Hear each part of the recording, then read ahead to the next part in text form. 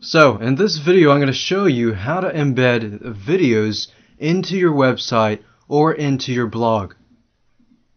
Now, most of the video sites are very, very similar, so if I show you how to do it at YouTube, then most likely you can go to other sites and get the embedded code there. So, what I'll show you first is how to embed any video into a blog and how to embed a video into your website. Now, embedding videos into your blog, website, very, very similar, but there's a few things that you need to watch out for when you're inserting it into a blog or when you're inserting it into a website. So, with that said, I am at my YouTube account here, and to get the video code, what I want to do is find the video that I want to get the embed code for. So, for this example, in YouTube, you would go to any video that you have those legal rights to embed the video. And as you can see here, if I scroll down, I have the how to customize your sales page. As you can see here, if you scroll to the right, you'll notice that it has the information here, but it also has the embed code here. Now here's what I like about YouTube. If you click on customize, most people, they will leave it as the default, so it'll look like this. Now, the thing with this is you can customize it so you can show the border, you don't have to, but it kind of makes it look nicer and it stands out, looks different than the other people. So you can change it to different colors, such as that. In this example, I'll just choose the regular gray. Now there are two choices here. You can either include related videos or don't include related videos. Now what that means is, let's say for example that I'm at the end of this video. So I'll go all the way to the end of this video. And if you notice at the end of the video it'll show different related videos. Now we don't want that so just go ahead and click don't include related videos. Once you have finished customizing the look and the customization of the video. What you want to do is copy this information here. So I would copy all of this, let's select all, then copy it. And once you have that copied, then we can go and take that and embed it or paste it into a blog, whether it's a blogger.com blog, WordPress blog, or a website. So the first thing I'm going to do is go to my WordPress blog and I'm going to write a new post. So I'll click on write and I'll just go ahead and name this test video. Now here's the thing that you want to watch out for when you create a WordPress post normally you're going to see it as a visual here. What you need to do is click this HTML link here and then paste that information there. And then of course you can add tags.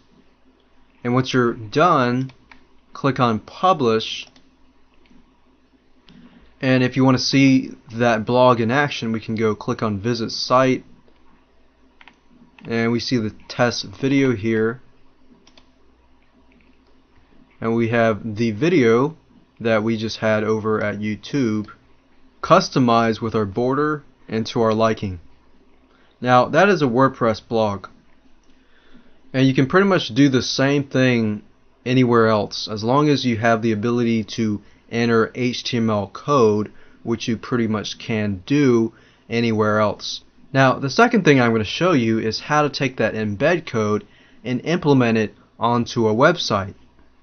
Let's say for example that these are one of the videos that you're selling for instance the how to customize your sales page. And you want to put it on your site as a demo. In this case I'm going to actually go to my cPanel of my website. You can use FTP if you like uh, but I know the majority of you are probably on a cPanel hosting panel and you you might not exactly know how to use FTP if you do you're pretty much going to have no problem with this at all. Now I'm going to go to cPanel and what I want to do is I want to go to File Manager And what I would like to do is create a new folder. So I, I'll click on New Folder. And I will enter a folder name. And I'll call it Video Demo. And we'll go ahead and create that folder. And once I'm in that folder, you'll notice that there are no records found just because we just created the folder. And then I'll go ahead and create a new file. And I'll name this index.html.